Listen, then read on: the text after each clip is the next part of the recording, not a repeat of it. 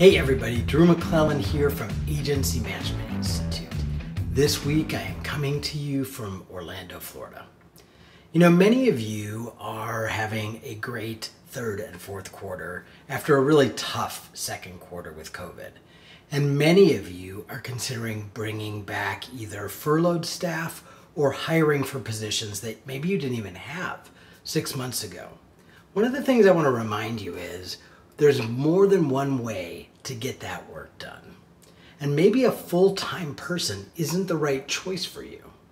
Remember Parkinson's Law. And Parkinson's Law told us that work grows to expand the amount of time that we give it to be done. And so, for example, on the day before we go on vacation, we get a ton of stuff done not because we're any more efficient or effective, but because Parkinson law kicks into effect. We know we don't have very much time before we're getting ready to go on vacation, and so we just crush our to do list. So that's very true for our employees as well. Many of you have taken full time employees and made them part time employees, or you've reduced uh, staff, which means that you're putting more of a workload on your existing team. And remarkably, your team is getting the work done.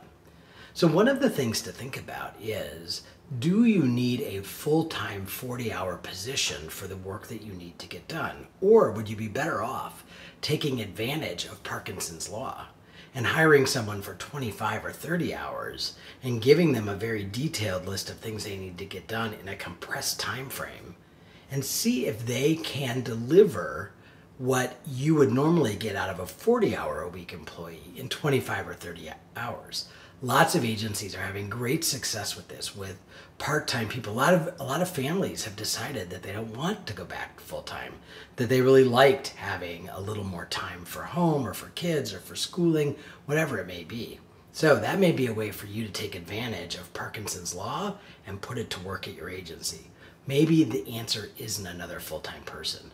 Maybe it is a series of part time people, all of whom are working to get everything that they need to get done in a compressed period of time. Think about it. I'll talk to you next week.